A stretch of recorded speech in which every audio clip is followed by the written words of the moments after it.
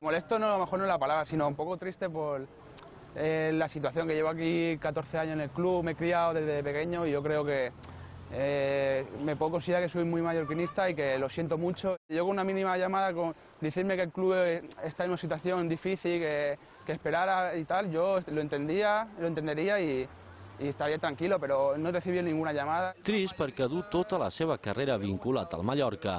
El jugador esperava notícies del club ja des del passat mes de desembre.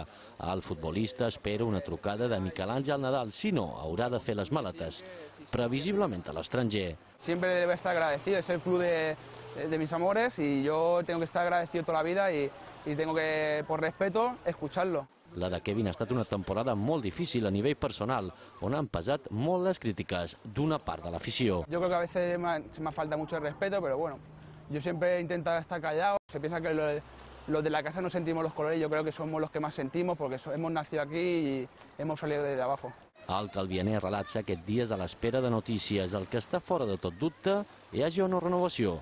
És el seu mallorquinisme. Mai fitxaria pel rival ciutadà l'Atlètic Balears. A ver, Balears es buen equipo y han hecho una grandísima temporada, pero yo soy mallorquinista y ante todo me debo a Mallorca. Mentre gaudeix de les vacances, el jugador espera que el club s'estabilitzi a nivell institucional i lamenta que no hagi prosperat l'opció de Dudu Aguate. Que se venido muy bien y yo creo, hablando por Dudu, que es una persona que yo conozco, es un, una, una persona muy que, está, que quiere mucho a Mallorca, que está muy interesada y que muy responsable y que seguramente hubiese ido muy bien.